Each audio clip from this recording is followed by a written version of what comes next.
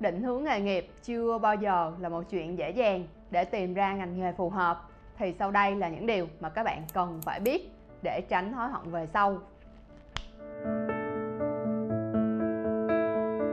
Điều quan trọng đầu tiên mà các bạn cần phải biết đó chính là thấu hiểu chính mình.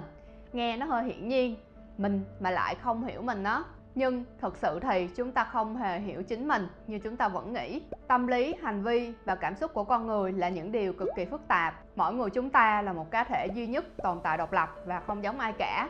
Cho nên đôi khi chúng ta cần phải dùng cả đời để hiểu hết chính mình. Khi chưa hiểu chính mình một cách trọn vẹn, bạn dễ rơi vào trạng thái mơ hồ về điểm mạnh và điểm yếu của bản thân. Nghĩa là bạn không có cơ sở để dám chắc rằng đó có phải là điểm mạnh, điểm yếu của mình hay không hay chỉ là những biểu hiện nhất thời ví dụ dễ thấy nhất là sẽ có lúc bạn cảm thấy thích một công việc gì đó vì bạn nhìn thấy người khác làm công việc đó sao mà quá tuyệt vời. Nhưng đến khi bạn được thử sức với công việc đó thì bạn lại nhanh chóng cảm thấy chán nản và muốn từ bỏ. Chẳng hạn như mình nhìn thấy các anh chị, ca sĩ, diễn viên xuất hiện trên sân khấu thật là lung linh, hay ho, thú vị. Nhưng đến lượt mình khi xuất hiện trước ống kính thì mình lại cảm thấy nó chả vui chút nào và hơn hết, chúng ta không có một cái thước đo hay là một cái hệ thống gì đó để có thể đánh giá được chính mình.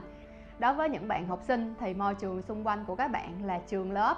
Bạn đánh giá bản thân mình dựa trên điểm số hay là những lời khen tặng của thầy cô. Thực sự thì điểm số không phải là thước đo duy nhất.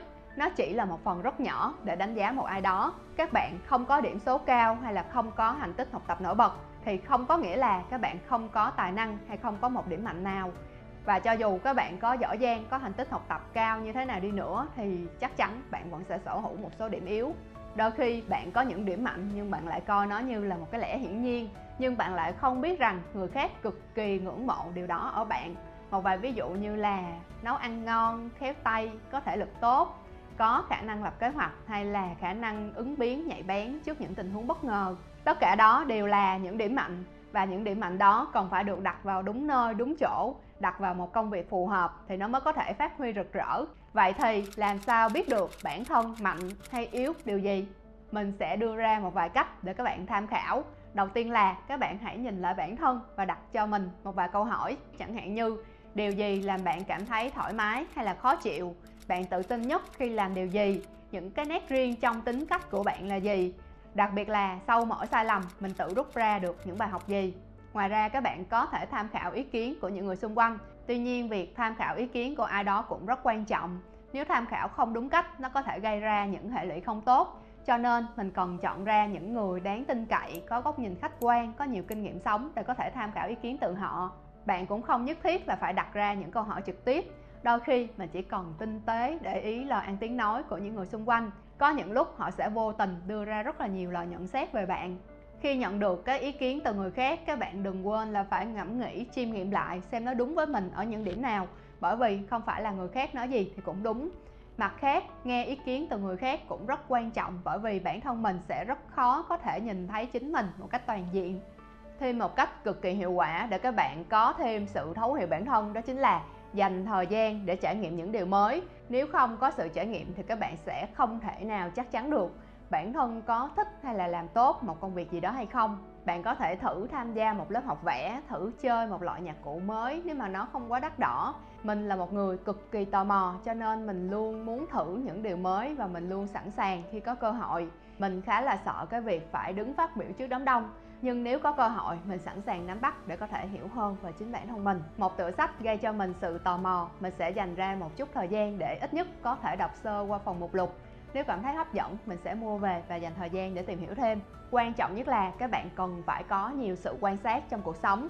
Thời sinh viên, mình có nhiều khoảng thời gian đi làm thêm.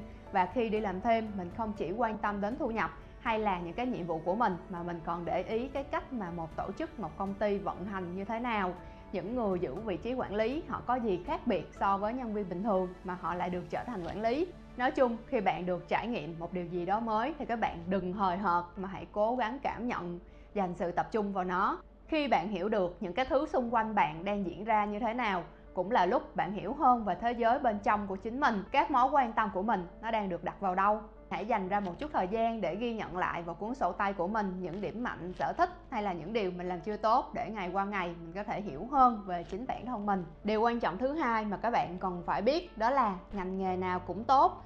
Có nhiều quan điểm định kiến, so sánh giữa các ngành nghề, chẳng hạn như là phải học kinh tế mới giàu làm giáo viên, công chức, cuộc sống mới ổn định và được mọi người kính trọng hay là làm bác sĩ, kỹ sư thì mới có tương lai. Sự thật là mỗi ngành nghề nó đều có tiềm năng phát triển.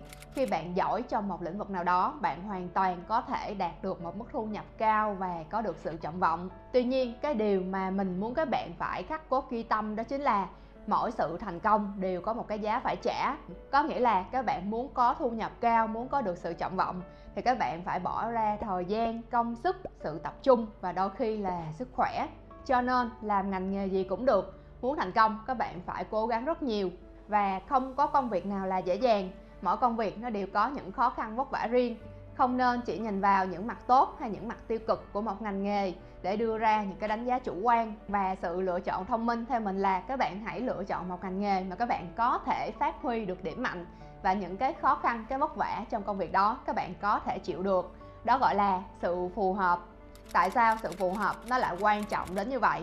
Bởi vì công việc là cái điều mà các bạn phải làm mỗi ngày ví dụ, mình là người thích ra ngoài đi đây đi đó, gặp gỡ nhiều người. Nếu mà bắt mình ở nhà làm việc với máy tính một ngày thì ok, mình vẫn làm được. Tuy nhiên, nếu bắt mình mỗi ngày mỗi ngày đều phải ở nhà trong một khoảng thời gian rất là dài từ năm này qua tháng nọ, thì đó là một điều rất kinh khủng.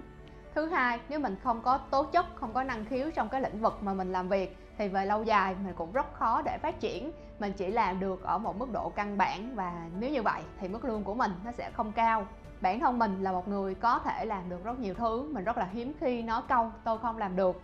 Mình chỉ cần dành sự tập trung, sự cố gắng thì mình vẫn sẽ làm được ở một mức độ nào đó.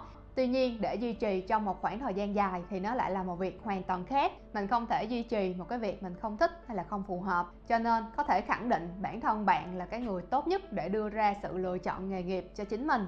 Ngày xưa khi mà mình học ngành thiết kế nội thất tại trường đại học kiến trúc, học được một năm thì mình đỡ ngành lúc đó những người xung quanh mình, cô dì chú bác, ai cũng lấy làm khó hiểu. Tại sao mà mình đang học một cái trường rất là danh tiếng, học một cái ngành rất là tốt mà mình lại từ bỏ, trong khi người khác muốn vào mà không được? Bởi vì trường tuyển chọn rất là khó, tỷ lệ chọn rất là cao. Chưa kể là phải học năng khiếu về vẽ một, hai năm trước đó mới có thể thi được. Và bản thân mình cũng rất khó để giải thích một cách rõ ràng cho mọi người có thể hiểu được. Lúc đó mình cũng còn khá trẻ, mình chỉ có thể nói đơn giản là không phù hợp hay là không thích đôi lúc mình cũng khổ tâm lắm các bạn. Cho nên những cái sự lựa chọn nghề nghiệp theo gia đình, theo bạn bè, theo số đông, nó đều là những cái sự lựa chọn hời hợt và mang lại những kết quả không tốt. Các bạn cần phải tìm hiểu thật kỹ về tính chất công việc để đưa ra những cái quyết định đúng đắn.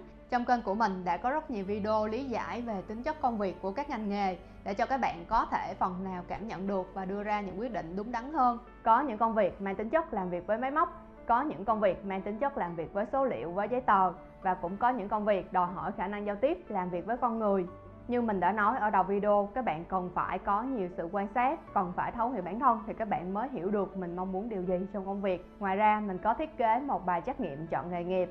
Nó có thể cung cấp cho bạn những nghề nghiệp phù hợp với bản thân dựa trên điểm mạnh, điểm yếu. Bạn nào quan tâm có thể tìm link trong phần mô tả. Mình có nghe một câu nói rất hay, đó là đừng đi tìm con đường, đi đến hạnh phúc mà hạnh phúc chính là con đường. Có nghĩa là các bạn đừng chờ đến lúc mình có tấm bằng đại học trong tay, đến lúc mình xin được công việc, hay đến lúc mình có mức lương cao thì mình mới cảm thấy hạnh phúc. Hạnh phúc nó không phải là một cái đích đến như vậy, mà nó là một cái quá trình. Có nghĩa là khi các bạn chọn được ngành học mà mình yêu thích, ngay từ lúc các bạn đặt chân đến trường, ngay từ lúc các bạn được học những bài học đầu tiên, và ngay từ lúc các bạn được tiếp xúc với những người bạn bè có cùng chung đam mê, cùng chung chí hướng thì nó đã là bắt đầu cho một cái quá trình hạnh phúc. Thậm chí là ngay từ lúc các bạn tìm hiểu về các ngành nghề, các bạn được hiểu hơn về cuộc sống, hiểu hơn về chính bản thân mình, thì hạnh phúc nó đã bắt đầu tìm đến mình. Mình không nên xem mọi thứ là những sự áp lực. Mình không nên đặt trên mình áp lực phải thành công, phải thành một người gì đó to tát thì mình mới cảm thấy hạnh phúc. Khi các bạn thấu hiểu được hạnh phúc là một quá trình, các bạn sẽ luôn trong trạng thái hân hoan hạnh phúc trọn vẹn với cuộc sống qua từng phút giây. Đó chính là những cái điều để các bạn trở nên đam mê hơn, yêu việc học hơn, có nhiều hoài bão vĩ đại hơn, chứ không đơn giản chỉ làm vì tiền. Đó là tất cả những điều mình muốn gửi gắm đến các bạn nào đang trong quá trình tìm kiếm định hướng cho cuộc đời mình. Cảm ơn các bạn đã lắng nghe. Đừng quên cho mình một like, một share và bấm vào nút chuông đăng ký. Cảm ơn các bạn một lần nữa. Bye bye.